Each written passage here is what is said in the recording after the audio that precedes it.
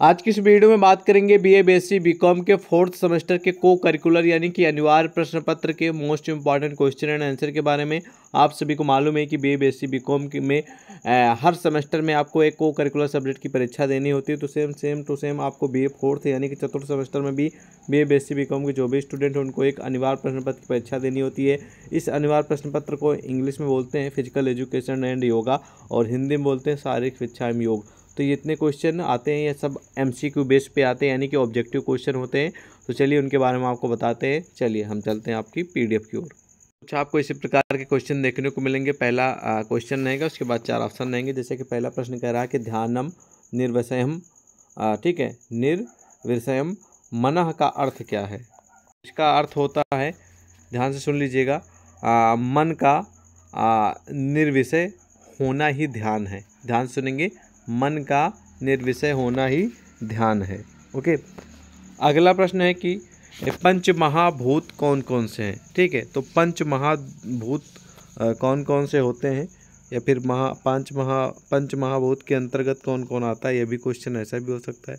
सही उत्तर हो जाएगा ऑप्शन नंबर इसका कौन सा द। इसके अंतर्गत आता है पृथ्वी, जल, आकाश, अग्नि वायु स्टेप बाय स्टेप पहले पृथ्वी, फिर जल, फिर आकाश, फिर अग्नि, फिर वायु, ठीक है? तो ये आते हैं पंच महाभूत के अंतर्गत। अगला प्रश्न है कि ध्यान के कितने साधन हैं, ठीक है? तो इसमें योगा से संबंधित क्वेश्चन एजुकेशन से संबंधित क्वेश्चन आएँगे, ठीक है? योगा जो किया जाता है।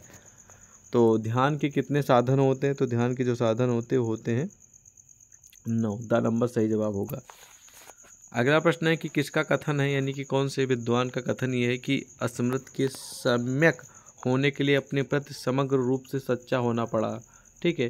तो ये जो पंक्ति कही गई है, लाइन कही गई है, ये कही गई है, पतंजलि के द्वारा सही जवाब इसका हो जाएगा ऑप्शन नंबर बा।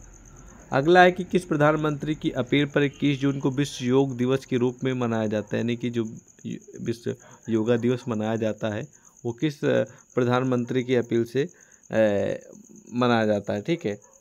तो ध्यान रखेंगे, सही जवाब इसका हो जाएगा option number B Narendra Modi को, ठीक है? तो इन्होंने इक्कीस जून को विश्व योगा दिवस के रूप में मनाया था, ठीक है, पहले।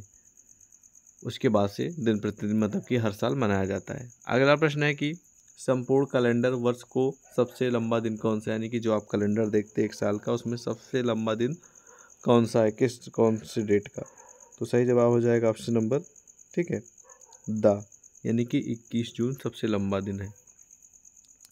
अगला है कि कुछ विशेष हफ्त मुद्राएँ कितनी हैं? कुछ विशेष हफ्त मुद्राएँ कितनी हालाँकि क्वेश्चन इंपॉर्टेंट नहीं है, बहुत कम आता है तो आप इसे इग्नोर भी कर सकते हैं। फ़िलहाल सही उत्तर बा हो जाएगा, ध्यान रखेंगे। अगला है कि सर्वश्रेष्ठ सर्वश्रेष्ठ आसन किसे माना गया? तो भैया, जब आप योगा करते हैं, उसमें बहुत सारे आसन होते हैं, ठीक है? धुनरा आसन होता है सालभासन आसन होता है ब्रजा आसन होता है फिर शासन होता है, ठीक? बहुत सारे प्रकार के आसन होते हैं। तो सर्वश्रेष्ठ जो आसन है, उसका नाम बताना है, ठीक है? सर्वश्रेष्ठ जो आसन है, वो है शीर्षासन, ठीक है? ब नंबर सही जवाब हो जाएगा। अगला क्वेश्चन है कि योग में या फिर योग से कितनी शारीरिक अवस्थाओं का विकास होता है? मतलब कि अगर आप योगा करते हैं तो शरीर में कौन कौन सी अवस्था है? कौन कौन से पार्ट हैं या फिर बॉडी के कौन कौन से इक्विपमेंट हैं जिनमें वृद्धि यानी कि विकास होता है ठीक है? तो इस प्रश्न का जो सही जवाब हो जाएगा। आपको बताना अगर आपको मालूम है तो ठीक है? कमेंट सेक्शन में बेशक बता सकते हैं। सही जवाब इसका हो जाएगा ऑप्शन नंबर कौन सा? ए ठीक है? छ। सही जवाब हो जाएगा छ आ नंबर अगला प्रश्न है कि योग आ, कर्म ठीक है? कर्मस कौशलम अर्थात कर्म के करने में जो कुशलता है, उसी का नाम योग है। ये जो पंक्ति, ये लाइन है, ये कथन किसकी है? ठीक है, ये भी किसका है? तो ध्यान रखेंगे, सही जवाब हो जाएगा ऑप्शन नंबर आ ठीक है, गीता में कहा था भगवान श्री कृष्ण जी ने, ठीक है, क्या कहा था? योग कर्मसु कौशलम अर्थात कर्म के करने में जो कुशलता है, उसी का नाम योग है। अगला प्रश्न है कि घेरंड संहिता की रचना कब की गई थी? तो घेरंड संहिता की जो रचना है, ध्यान रखेंगे, वो की गई थी सत्रहवीं शताब्दी के उत्तरार्ध में। बार नंबर सही जवाब होगा। अगला है कि उन्नीस सौ सैंतालीस से पहले भारत में कितने शारीरिक शिक्षा संस्थान थे? ठीक है, उन्नीस सौ सैंतालीस से पहले की बात हो रही है। आज़ाद जब हमारा देश नहीं हुआ था उससे पहले तो उससे पहले जो थे वो थे चार। सही जवाब इसका हो जाएगा ऑप्शन नंबर सात।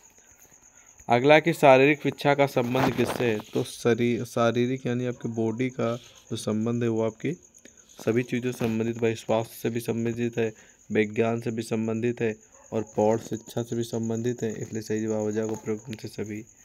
अगला कि योगासनों से शारीरिक रोग समाप्त होते हैं, प्राणायाम करने से पापों का विनाश होता है तथा प्रत्याहार करने से मानव रोग समाप्त होते हैं।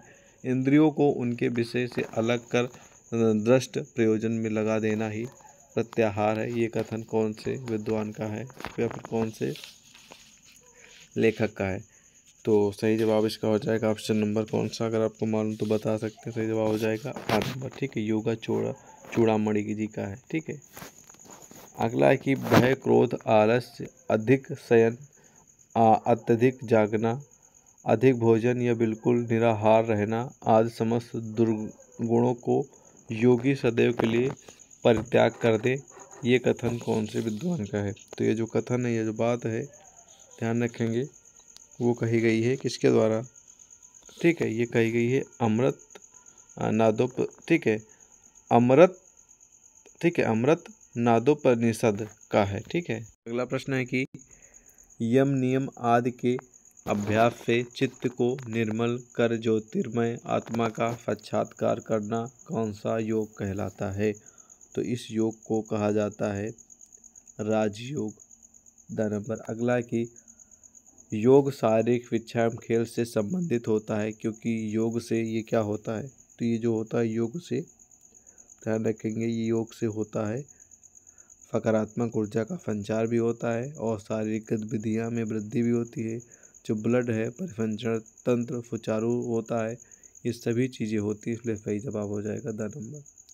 अगला है कि सवासन से लाभ है। तो सवासन से जो लाभ है वो आपको बताना है। बहुत महत्वपूर्ण प्रश्न है।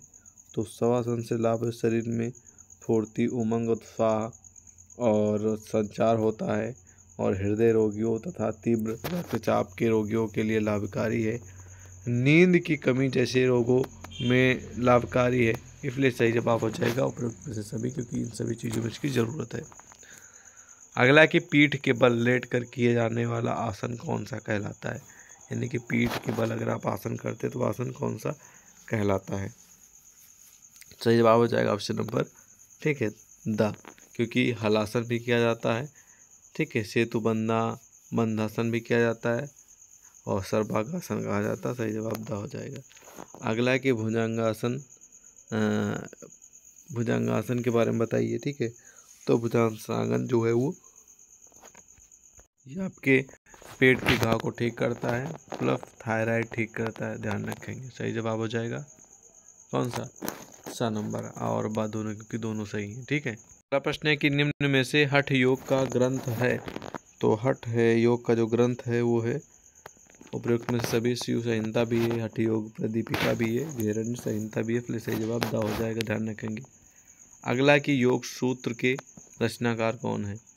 तो योग सूत्र के रचनाकार का नाम बताना इंपॉर्टेंट क्वेश्चन ध्यान रखेंगे। तो योग सूत्र के रचनाकार का नाम है पतंजलि। सही जवाब आ हो जाएगा। पतंजलि द्वारा मनाई गई चित्त की प्रवृत्तियाँ हैं तो पतंजलि द्वारा ठीक है, मानी गई, ठीक है। पतंजलि द्वारा मानी गई चित्त प्रवृत्ति चित्त की प्रवृत्तियाँ हैं। तो सही जवाब इसका हो जाएगा ऑप्शन नंबर बा, वो है क्षिप्त मूड, विक्षिप्त, अनुरुद्ध, एकाग्र। ठीक है? अगला है कि योग दर्शन के रचयिता कौन थे? योग दर्शन के रचयिता का नाम बताना है। ठीक है? तो उनके मतलब कि योग दर्शन के रचयिता कौन थे? तो सही जवाब इसका हो जाएगा ऑप्शन नंबर एक मिनट। ध्यान रखेंगे, इसका सही जवाब हो जाएगा योग दर्शन के रचयिता कौन थे? तो योग दर्शन के जो रचयिता हैं, उनका नाम था महर्षि पतंजलि। ठीक है, अगला है कि आस्तिक दर्शन कितने प्रकार के हैं? तो आस्तिक दर्शन जो हैं, वो हैं छः प्रकार के। सही जवाब इसका हो जाएगा ऑप्शन नंबर सात। अगला है कि निम्न में से किस रोग से पीड़ित व्यक्ति को हलाफन नहीं करना चाहिए? तो सही जवाब हो जाएगा इसका बताना अगर आपको मालूम है तो। सही जवाब हो जाएगा इसका द, हृदय रोग और रक्तचाप शिल्प डिस्क, ठीक है, इन सभी से आराम मिलेगा। अगला कि निम्न में से शरीर आसान कौन सा है? निम्न में से शरीर आसन कौन सा है? शरीर का आसन बताना। तो इनमें से जो शरीर का जो आसन है, ठीक है, वो है ब्रजासन। सही जवाब आ नंबर। अगला है कि अनु ठीक है, अनुलोम विलोम किस रोग में लाभप्रद हैं? तो ये जो हैं, वो जो लाभप्रद हैं, ठीक है, पित्त में, नजला में, अस्थमा में, ठीक है, सही जवाब? उपयुक्त में से सभी हो गए। अगला है कि किस अभ्यास के महारात से कोई अब पानी के ऊपर कमल के पत्ते के समान हो सकता है, ठीक है? तो ध्यान रखेंगे इस प्रश्न का, जो सही जवाब हो जाएगा। हो जाएगा ऑप्शन नंबर द, ठीक है? प्लाविनी। अगला कि क्वेश्चन ये कि सर्वांग योग दर्शन किसने की दिया? तो अरविंद ने दिया। अगला है कि कौन से दिन अंतर्राष्ट्रीय शिक्षा केंद्र स्थापित किया गया है? तो सही जवाब इसका हो जाएगा, ध्यान रखेंगे पॉपुलर क्वेश्चन है। सही जवाब हो जाएगा, ब, नंबर इक्कीस जून को, ठीक है? अगला है कि इनमें से कौन शिवानंदी के पाँच योग सिद्धांत में से एक हैं। ठीक है? तो सही जवाब इसका हो जाएगा ऑप्शन नंबर एक, सवासन। ठीक है? क्या हो जाएगा सही जवाब? सवासन। अगला कि अनुलोम विलोम का लाभ क्या है? तो अनुलोम विलोम का जो लाभ है, वो है उल्टा। ठीक है? अगला कि निम्नलिखित में से कौन साधन चतुष्य का भाग नहीं है? ठीक है? निम्नलिखित में से कौन साधन चतुष्ट का भाग नहीं है? तो बताना है आपको विवेक का, वैराग का, ध्यान का, ठीक है? तो अगर आपको मालूम हो तो ज़रूर बताएँ कमेंट सेक्शन में, फ़िलहाल इसका जो सही जवाब हो जाएगा, वो हो जाएगा। कौन सा? चलिए, अगर आपको मालूम है तो ज़रूर बेसिक बताएँ। देखते हैं किन किन स्टूडेंट का सही उत्तर मालूम है, ठीक है? तो इसी तरह पूरी पीडीएफ में आगे तो कुछ का आंसर नहीं मिलेगा, जो कि मैंने लगभग लगभग प्रश्नों का उत्तर बता ही दिया। अब बाकी इस पीडीएफ पे जितने भी क्वेश्चन आपको देखने को मिलेंगे उसके सामने उसका उत्तर लिखा जैसे कि ये कि जुम्बा का आनंद कौन ले सकता है? तो यहाँ सही जवाब हो जाएगा सा प्रत्येक व्यक्ति। ठीक है? तो इसी तरह आ, सारे के सारे क्वेश्चन देखने को मिलेंगे उसके सामने उसका उत्तर मिल जाएगा। और ये जो पूरी पूरी पीडीएफ है आपको हमारे टेलीग्राम व्हाट्सएप पे मिल जाएगी। इसी वीडियो के डिस्क्रिप्शन में टेलीग्राम व्हाट्सएप का लिंक दिया गया है। ये आपका अपना ही चैनल सक्सेस टू यू है। तो सब्सक्राइब ज़रूर कर लीजिएगा। बाकी मिलते हैं एक और नए वीडियो के साथ। जय हिंद। हालाँकि ये शॉर्ट वीडियो रही है तो इसलिए आपको काफ़ी ज़्यादा समस्याएँ होंगी। मतलब कि आपको लगा होगा कि थोड़ी लंबी वीडियो होती ज़्यादा बेटर होता। तो समय की शॉर्टेज होने के कारण मैंने आपको मेन मेन क्वेश्चन बता दिए। बाकी आप को ध्यान रखना है कि ये पी मतलब कि इस, इसमें बहुत पीडीएफ है तो इसमें करीब करीब हाँ दो, डेढ़ और दो सौ सौ क्वेश्चन है इस पीडीएफ में, ठीक है? तो डेढ़ सौ, दो सौ क्वेश्चन की जो पीडीएफ है, हम टेलीग्राम व्हाट्सएप पे डाल देंगे और उसका लिंक इसी वीडियो के डिस्क्रिप्शन में मिल जाएगा। तो ज्वाइन होकर मैसेज कर दीजिएगा और हम आपको पूरी पीडीएफ सेंड कर देंगे तो एग्ज़ाम की तैयारी हो जाएगी आपकी, ठीक है? तो बाकी मिलते हैं कौन वीडियो में, जब तक के लिए जय हिंद।